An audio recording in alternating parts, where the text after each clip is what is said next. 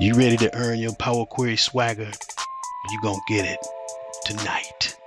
What I'm gonna show you is smoother than a top shelf bourbon at 2 o'clock in the morning. Because guess what?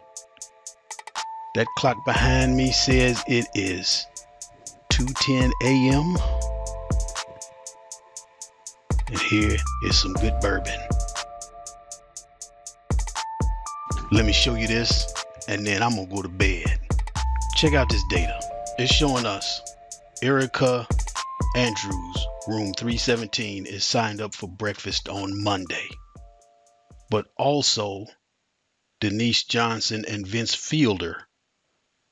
Wednesday for breakfast, we've got Florida Men, room 931 we want to split these rows and get this data in such a way that we can sort this by the last name, by the meal, maybe get all of the breakfasts together, but with all of the people on their own rows. Maybe we want to sort this by the room numbers. We can't do that now. One way to do this would be to split this up into different pieces, three different pieces, unpivot them, and then use joins to put them back together it would work. But I'm going to show you something smooth. Oh. in the data set. Data. And you know it from table slash range. Okay, table does have headers. I got to deal with a couple of things. I'm going to get rid of this change type step. I want to turn this column into text because that 804 is showing up as a number. We're not doing math on those numbers close these holes. Fill down. Add column. Custom column. Call this F name. We're going to use the function text dot split. Open parentheses.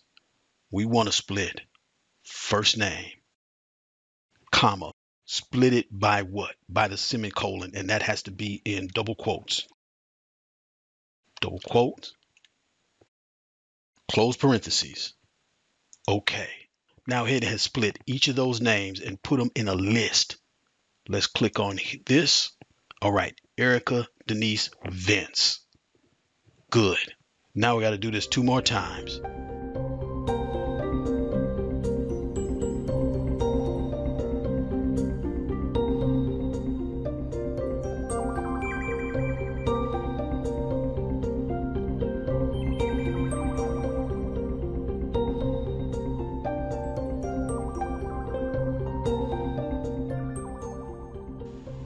Let's check.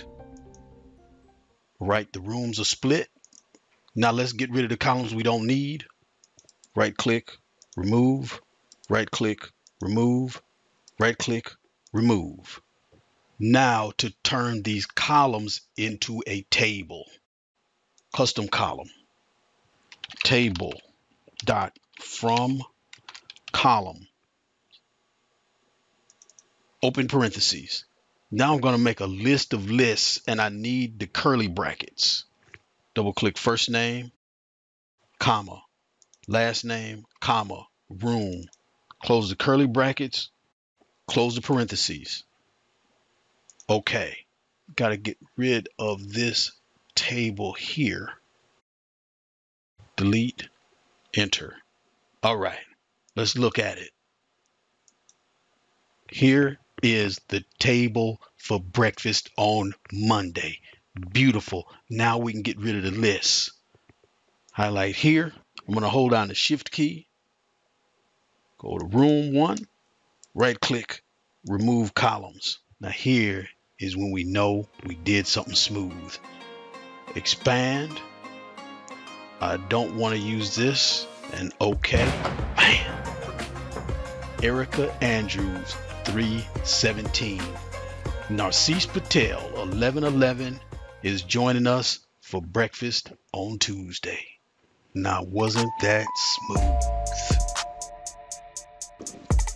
You now have Power Query Swagger.